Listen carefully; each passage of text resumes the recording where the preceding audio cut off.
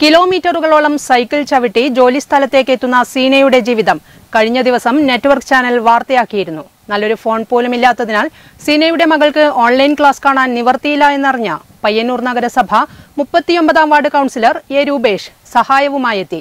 Network news impact. ലോക cycle ദിനത്തിൽ കിലോമീറ്ററുകളോളം സൈക്കിൾ ചവിട്ടി ജോലിസ്ഥലത്തേക്ക് എത്തുന്ന സീനയുടെ ജീവിതം നെറ്റ്വർക്ക് ന്യൂസാണ് റിപ്പോർട്ട് ചെയ്തത്.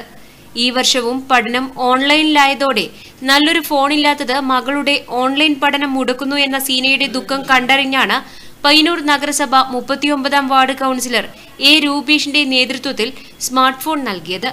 Payyanur college retired professor N J Mary ടീച്ചറുടെ സഹകരണത്തോടെയാണ് ഫോൺ നൽകാൻ സാധിച്ചതെന്ന് രൂപേഷ് പറഞ്ഞു.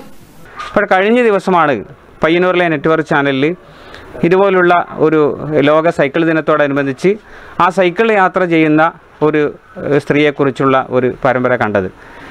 അപ്പോൾ അതിൽ ശ്രദ്ധിച്ച് ഏറ്റവും ഒടുവിലായിട്ട് ആ അമ്മ പറയുന്നുണ്ട് എന്തെങ്കിലും ഒരു പ്രയാസമുണ്ടോ എന്ന് ചോദിക്കുമ്പോൾ ആകെ ഒരു പ്രയാസം എന്ന് പറഞ്ഞത് എന്റെ കുട്ടി പഠ പഠനാവശ്യത്തിന് വേണ്ടി ഒരു ഓൺലൈൻ സംവിധാന പഠനത്തിന് വേണ്ടി ഒരു സ്മാർട്ട് ഫോണിന്റെ ഒരു പ്രയാസമാണ് ഇപ്പോൾ അനുഭവിക്കുന്നത്. അത് ആരെങ്കിലും തരുവാണെങ്കിൽ വലിയൊരു സഹായമായി എന്ന് ആ ഇതിൽ പറയേണ്ടായി.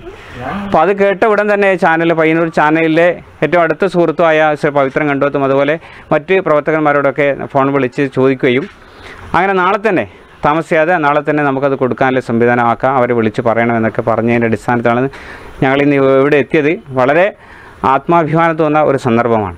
അമ്മയും അഞ്ചാം ക്ലാസ്സുകാരി മകൾ രേവതിയും അടങ്ങുന്നതാണ് സീനയുടെ കുടുംബം. പയ്യന്നൂർ ലക്ഷ്മൺ ഷേണായി ഗോഡൌണിൽ ആറു വർഷമായി പാക്കിംഗ് സ്റ്റാഫായ സീനയുടെ വരുമാനം മാത്രമാണ് ഈ കുടുംബത്തിനുള്ളത്.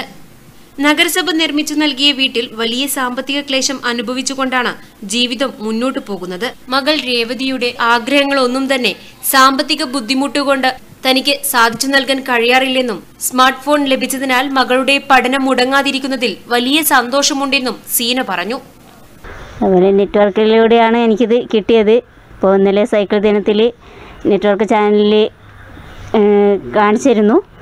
അതുകൊണ്ട് അതിൽ എന്റെ മോൾക്കൊരു ഫോണില്ല എന്ന് ഞാൻ പറയാനിടയായി. അതുകൊണ്ടാണ് ഇന്ന് എനിക്കിത് ലഭിച്ചത്. അതിൽ വളരെയധികം എനിക്ക് സന്തോഷമുണ്ട്. ഇന്ന് സീനയും മകൾ രേവതിയും വലിയ സന്തോഷത്തിലാണ്. അതിന് ഭാഗവാക്കാൻ കഴിഞ്ഞതിൽ നെറ്റ്വർക്ക് ന്യൂസിനും വലിയ ചാരിതാർത്ഥ്യമുണ്ട്. ക്യാമറമാൻ പവിത്രൻ കണ്ടോത്തിനൊപ്പം കെ എൻ വർഷ.